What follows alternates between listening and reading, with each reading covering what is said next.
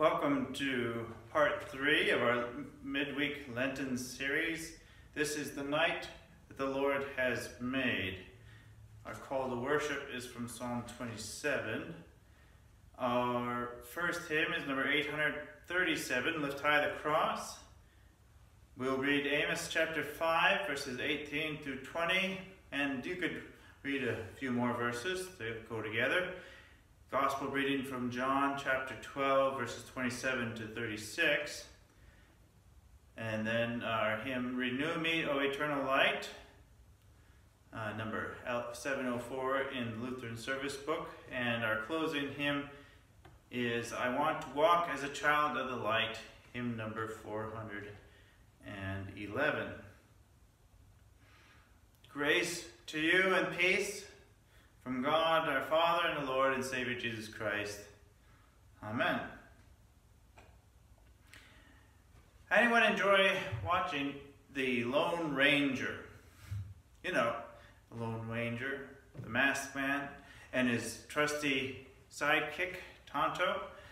Um, there were still a few reruns on in my day, although nowadays, with all of those hundreds of cable channels and with internet, uh, YouTube, I, you can find it on YouTube. Um, and you can watch those if, you, if you're missing out on it. And if you're a fan like Dr. Reed Lessing is, uh, you can still hear those famous opening lines.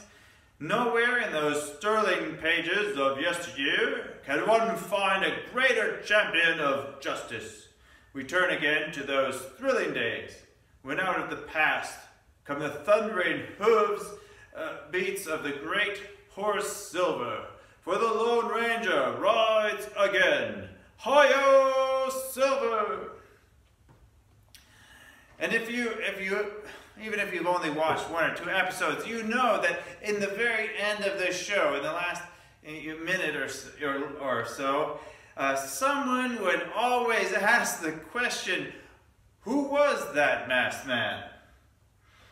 Here was someone who had been in the clutches of death,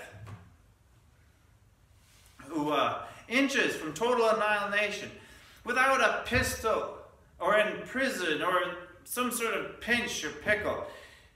And the Lone Ranger delivered, saved, and rescued them. And they had missed it. Who was that masked man? From their youth, Israel had been called out of Egypt. You, you all know the story of the Exodus, the, the Passover, the crossing of the Red Sea. They had been fed and nourished for the journey and given their tribal inheritance.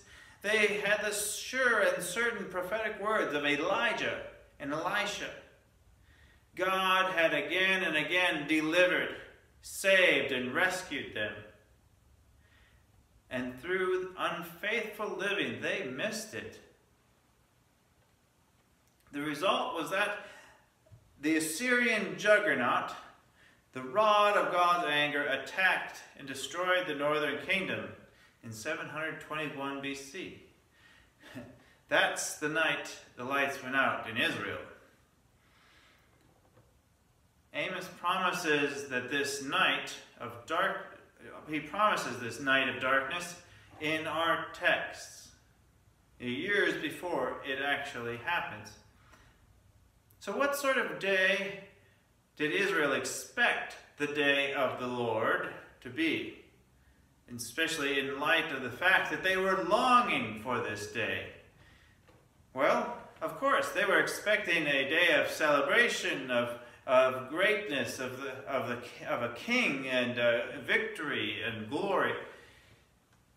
How does Amos confirm or deny their expectations from the verses?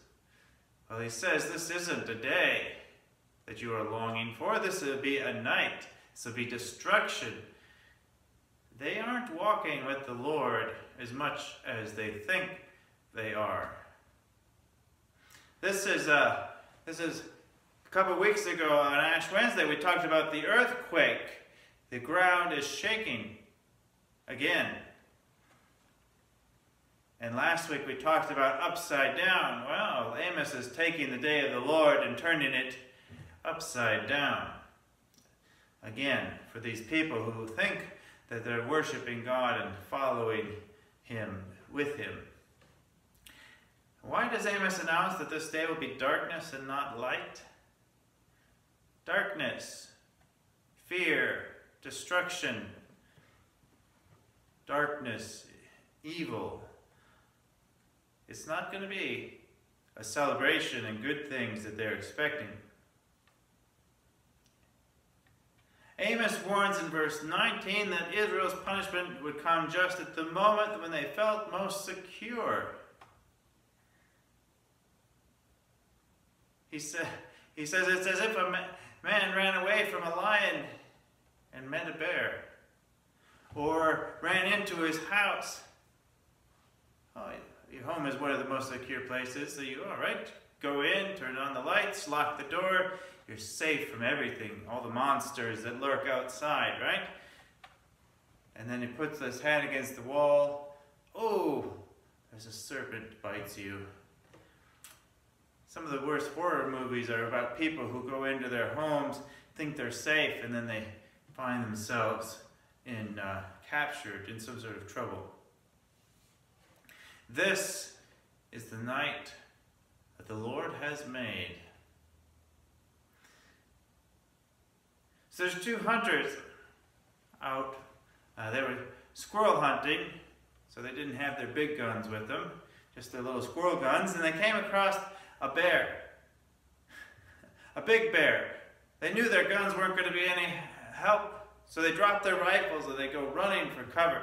And the first man climbs up, climbs a tree, and he gets up, must have been a little tree, small enough that this big bear didn't want to climb it. Uh, while the other man found a, a, little cave, a hole in the rocks, so he dives in, he climbs into there.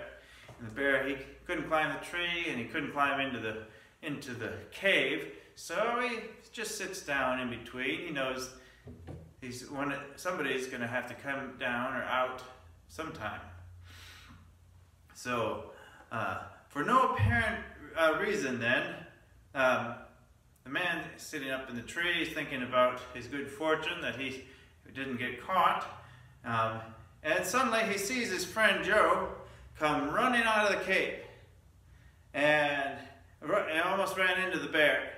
And then he, then he turned around and he went running back into the cave. And then a minute later he comes running back out. And he sees the bear again. He looks around and then he jumps back into the cave.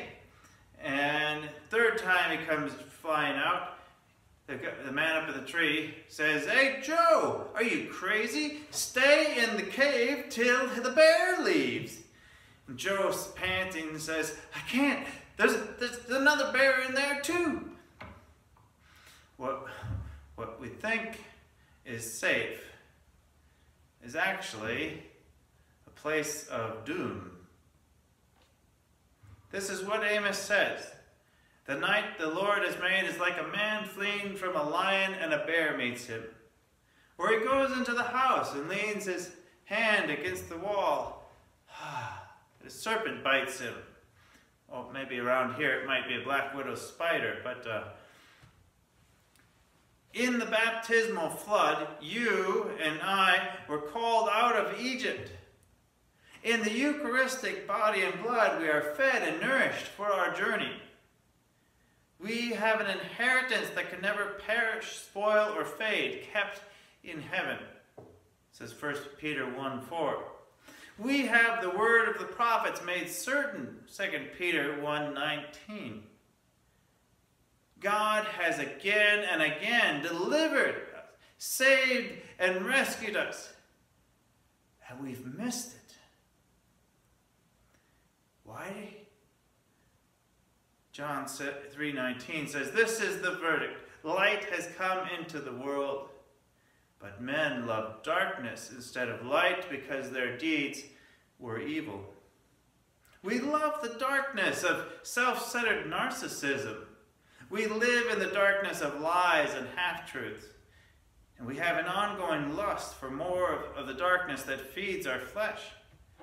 The Prince of Darkness mocks our feeble discipleship, our failed relationships, and our fatal attractions. One of the greatest tragedies would be to live in darkness when we could live in light. That's why we built a giant dam on the river, right? Rose Crawford had been blind for 50 years.